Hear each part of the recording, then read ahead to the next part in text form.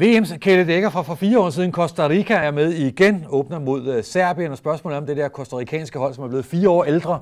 Jeg kunne se, at der var mange genganger i, øh, i truppen der, om de så kan, kan overraske igen, Bo, eller om øh, vi får måske mere, se mere sandt niveau frem, frem altså, den her gang. Jeg synes klart, det er den sværeste fodboldkamp, også fordi vi har ingen anelse om, hvad Costa Rica kommer med. Vi har ingen anelse om, hvor de står henne, øh, og, og, og der er ingen tvivl om, at Serbien skal jo vinde den her fodboldkamp for at gå videre.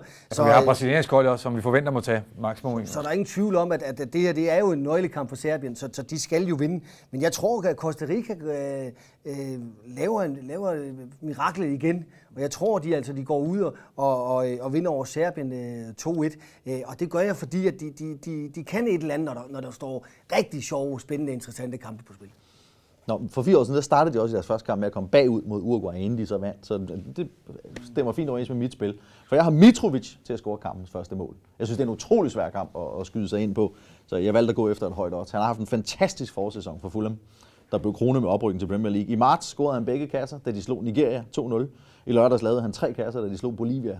En rimelig formstærk mand. Ham sætter de ikke på bænken. Det må man sige. Det må, det må man sige. Jamen, jeg, det er også for dumt. jeg tror altså på serberne. Jeg, jeg, jeg, jeg tror, at det der Costa Rica, det er... Jamen, nu er, nu er de luret, du.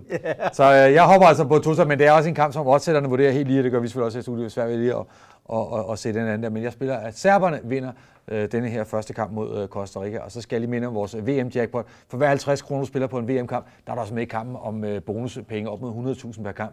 Læs meget med det i millionbet.dk.